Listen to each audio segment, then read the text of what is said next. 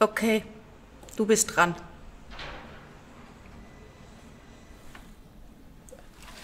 Was hast du geschrieben? Ich liebe dich, Jonas. Du bist ein wunderbarer Mann. Ich werde nie vergessen, wie wir im Pausenraum über Fisch gesprochen haben. Ich hoffe, du hast den Mann nicht umgebracht. Falls aber doch, ich habe gehört, im Gefängnis kann man herrliche Kurse über Meditation und Buddhismus belegen. Vielleicht hast du eine gute Zeit. Bis bald, Sabine. Wow, das ist gut. Also ich liebe ihn nicht.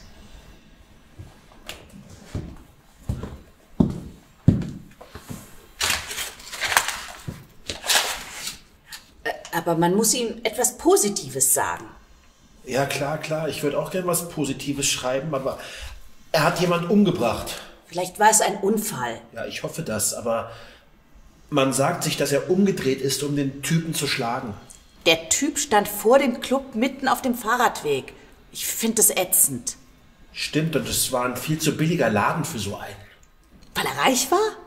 Ja, ich habe auch gelesen, dass er reich war. Naja, reiche Typen gehen manchmal in schäbige Läden. Hast du die da gesehen oder was? Naja, wie du weißt, ich habe gestrippt und war Sexarbeiterin.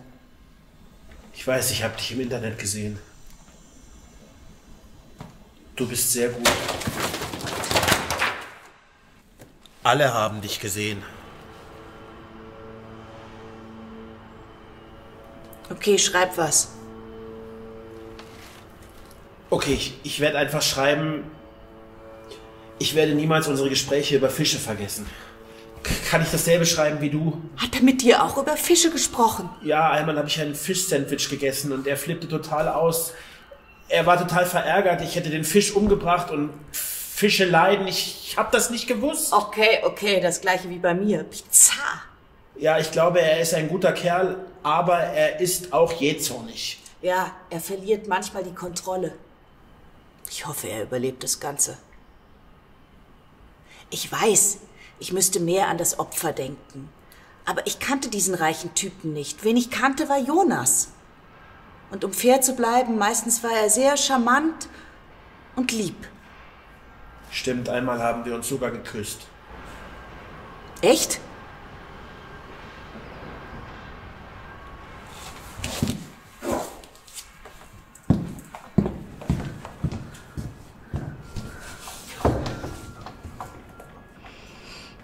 Wir uns auch.